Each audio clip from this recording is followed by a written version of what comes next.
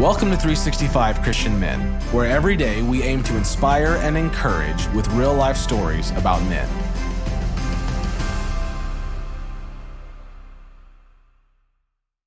December 31st, Alvin York.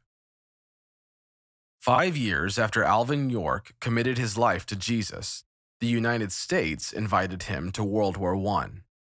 On the draft notice, York scrawled, Don't want to fight. He thought the war was wrong, but cynics thought his conscience was convenient. That's about where today's story begins. Afterward, York, who had a total of nine months of formal education in his life, went on to fight in the war. With 16 other soldiers, he engaged in a firefight with a much larger group of German soldiers who had a machine gun. Heroically, York disabled the machine gun. Nine American soldiers lay dead, but their surviving team members took 132 prisoners. On this date in 1919, York was awarded the Congressional Medal of Honor. When he returned to the United States, people compared him to Davy Crockett and Abraham Lincoln and movie makers tried to woo him. Companies tried to get him to endorse their products. But York only wanted to go home to Tennessee and resume his quiet life where he had been a Sunday school teacher and music leader. Upon his return, he wanted to find a way for the young people in his area to get an education.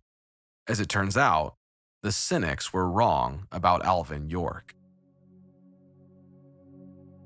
The man who stands up for the Word of God honors the creator of men.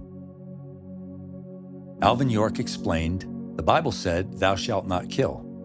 That was so definite a child could understand it. But when his nation called him to war in 1917, York faced the greatest dilemma of his life. There were two reasons why I didn't want to go to war. My own experience told me that it wasn't right, and the Bible was against it. York had admittedly lived a hard life of sin and promised he would never return to that life. A battle raged within him as his conscience told him war was wrong. But his beloved ancestors had fought and killed for his country. He readily identified with the Apostle Paul's struggle. In Romans chapter 7, verse 23, the Bible says, But I see another law at work in me, waging war against the law of my mind and making me a prisoner of the law of sin at work within me. York wanted to be both a good Christian and a good American. Deep in prayer and contemplation, he trekked through the mountains of his native Pall Mall, Tennessee, and he spent hours reading his Bible. I just couldn't make up my mind that the Bible was wrong, and I couldn't make up my mind that Uncle Sam was right. I was a soul in doubt. He wrote his local draft board seeking conscientious objector status, but they refused. After numerous failed appeals and in consultation with his pastor, York reported for duty. During training, he continually informed his superiors of his objection to killing another person in any form. One of his commanders, Major Edward Buxton, also shared faith in Christ, and this pleased York greatly.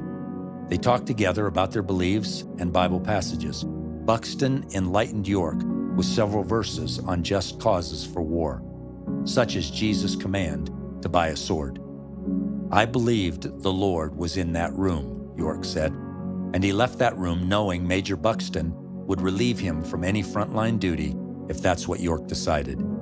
The Army issued York a pass home, and he spent more time in the Bible and praying in the mountains. The Lord answered him on that mountain and met him in his burden a peace came over York, and he returned for duty. In due time, for his heroic actions on the battlefield, York became one of the most decorated soldiers of World War I and a national hero. God delivered York from his internal battle so that he could lead others to victory on a European battlefield. James chapter 5 verse 11 tells us, Behold, we consider those blessed who remained steadfast. You have heard of the steadfastness of Job, and you have seen the purpose of the Lord, how the Lord is compassionate and merciful.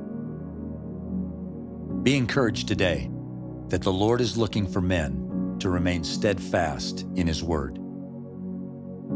The man who stands up for the Word of God honors the Creator of men.